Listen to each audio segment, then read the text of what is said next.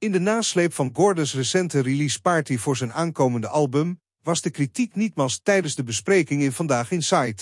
Albert Verlinde, altijd scherp in zijn oordeel, liet weten dat het wellicht verstandiger was geweest als Gordon gewoon thuis was gebleven. De heren van Zes deelden in de kritische noot en waren niet bepaald onder de indruk van Gordons zangkwaliteiten.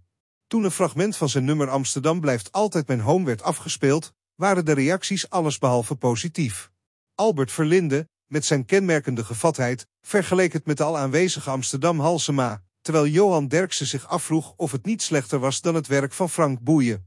René van der Gijp voegde daar nog aan toe dat in vergelijking met dit optreden, René Leblanc bijna als Frank Sinatra leek. De kritiek op Gordons optreden was onmiskenbaar aanwezig. Johan Derksen merkte op dat als je zo zou zingen voor de HEMA, je hoogstwaarschijnlijk weggestuurd zou worden. Albert Verlinde, die zijn ervaring in het theater en entertainment benadrukte, oordeelde streng: Dit is toch amateurisme?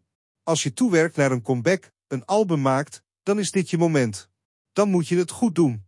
Hij voegde eraan toe dat hoewel de CD misschien mooi is, het live optreden van Gordon niet overtuigde.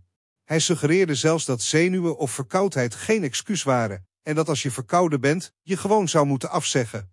De meningen waren duidelijk verdeeld en het lijkt erop dat Gordons comeback niet helemaal de verwachtingen heeft ingelost, althans niet volgens de heren van Zes en Albert Verlinde.